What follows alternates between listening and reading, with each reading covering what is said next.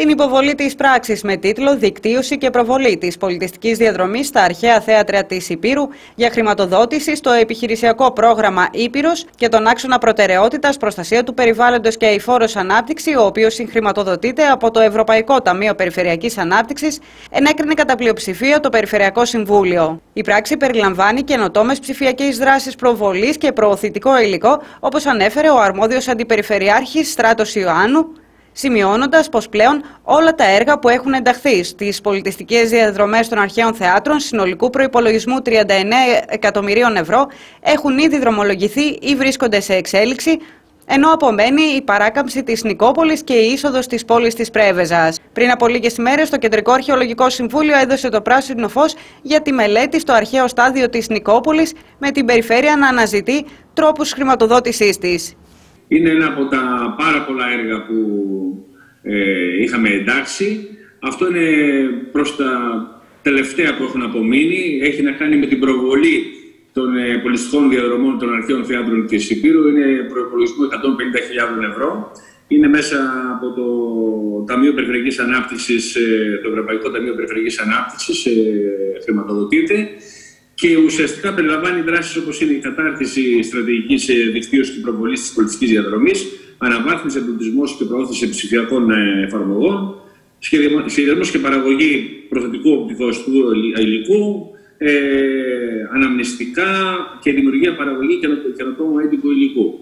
Ε, είναι πραγματικά καινοτόμες προοδευτικέ δράσεις ψηφιακές που θα δίνουν δυνατότητα να, να γίνεται και ξενάγηση ψηφιακά χωρίς, ε, με την, και να μην υπάρχει εκεί, χωρίς να υπάρχει ξεναγός.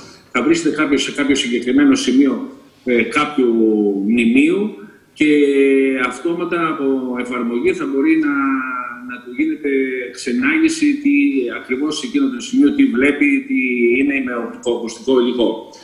Ε, Θέλω να, ε, πολύ, με συντομία να πω ότι όλα τα έργα που έχουμε βάλει σε αυτές τις πολιτικές δομέ των τάξη των 39 εκατομμυρίων ευρώ ε, έχουν δρομολογηθεί όλα, πάρα πολλά εκτελούνται. Απομένει η παράκριση της αρχαίας Νικόπολης ε, και νέα είσοδος της πόλης Πρέβεζας σε προπολογισμό 18 εκατομμυρίων ευρώ συν τις απολωτριώσεις.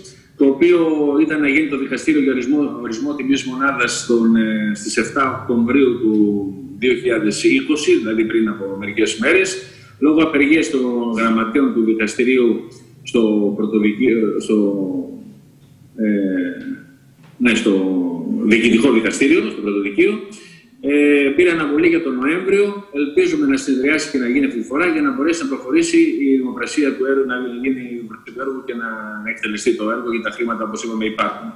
Ένα άλλο έργο το οποίο προχθέ, πριν από μια, εβδομάδα, μια μισή εβδομάδα πήραμε ε, την έγκριση από το ΚΑΣ είναι η μελέτη για το αρχαίο στάδιο της Νικόπολης. Οπότε και αυτό θα δούμε πώς θα μπορέσουμε να το εντάξουμε και βρισκόμαστε προς τα τέλη του, του τρέχοντος επιχειρησιακού προγράμματος.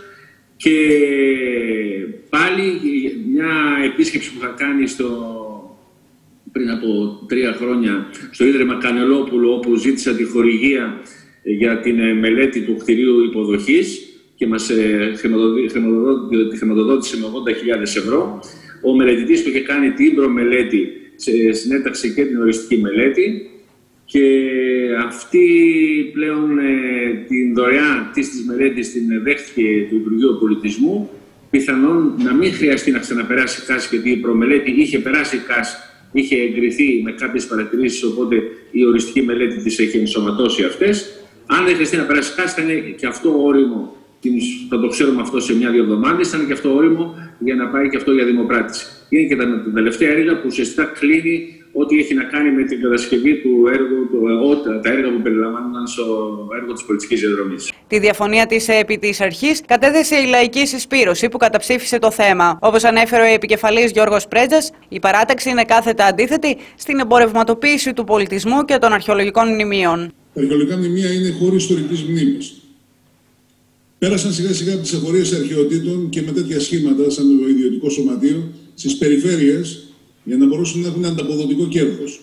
Και η ένταξή τους στον τουρισμό, έτσι όπως τον αντιλαμβάνεται και η Περιφερειακή Αρχή, τουρισμό ποιότητας, πραγματικά δεν απευθύνεται ούτε στη νέα γενιά, ούτε στα παιδιά, αλλά είναι ένα προϊόν το οποίο θα πρέπει να το αγοράζεις και συνδέονται μεγάλες εταιρείες για να μπορούν όσοι έρχονται ως πελάτες να κονομάνε πεντάστερα ξενοδοχεία ή όποιοι άλλοι δραστηριοποιούνται με αυτή τη διαδικασία. Έχει μια ιστορία δηλαδή η οποία είναι ενδιαφέρουσα γιατί καταλήγουμε τώρα στο τέλος αυτού του έργου. Αλλά επειδή περάσαμε λόγω του κορονοϊού την αποκάλυψη ότι η μονοκαλλιέργεια του τουρισμού και των μεταφορών έδωσε σε τεράστια ευαλωτότητα την ελληνική οικονομία, γιατί ήταν μια απόλυτη προτεραιότητα, ο ποιοτικός τουρισμός είναι αυτό το υπόβαθρο μέσα στο οποίο αναπτύχθηκε και αυτή η ολογική χρήση των αρχαιολογικών μνημείων και θεάτρων σαν χώρους τουριστικής προβολής.